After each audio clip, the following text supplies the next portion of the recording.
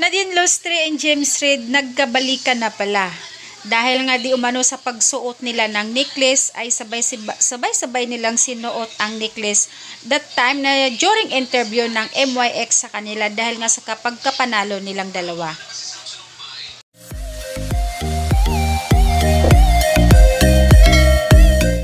Pinos nga ito ng Jaden fandom. Ito ay 4 years and 6 months na nga ang Jaden.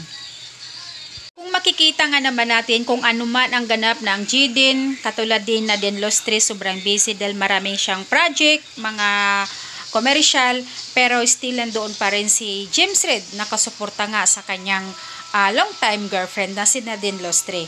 Kumakailan lang din po ay in-interview nga silang dalawa ng MYX dahil nga din doon sa pagkapanalo nila at tinanong nga, is, tinanong nga siya kung saan nga nakatira ngayon si Cal, yung kanilang baby. Hindi nga makasagot ang dalawa na parang tamime, nag-aantay lang kung sinong mauna magsalita. Pero at last, nagsalita rin si Nadine Lostre na nga sa kanya nga daw. Kung makikita nyo guys, mapapansin nyo rin sa kanilang dalawa, ang suot nila na necklace ay iisa lang. Uh, ang tawag doon ay couple necklace. Yung diamond, yung kulay green, paring pareho talaga. Ang sabi ng isang netizens, matagal na daw yung kwentas na yan, yun kung saan sila na pumunta, suot-suot nga daw lagi na ang dalawa. Pero this time, pinakita nga ng dalawa yung suot, ibig sabihin nga daw ay nagkabalikan na nga ang Jaden.